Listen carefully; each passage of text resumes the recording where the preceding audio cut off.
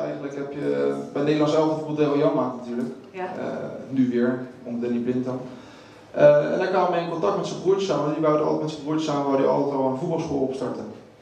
En toen zeiden we van, nou ja, misschien kan ik die extra man zijn om misschien net datgene te brengen wat extra nodig is. Want ja, als jij in Engeland voetbalt, dan kan je hier je ding niet doen.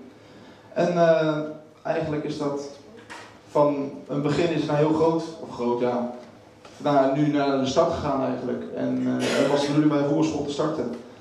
En ondertussen ook met huiswerk en sport bezig. Dus naast, eh, je ziet toch veel jongens met school hebben vaak, eh vinden het moeilijk op school en toch die extra huiswerkbegeleiding. En wat dan ons weer anders maakt als andere huiswerkbegeleiding, is dat het gewoon een half uur binnen is. Een half uur sporten om toch die hersenactiviteit weer even goed te krijgen en even je hoofd leeg te maken.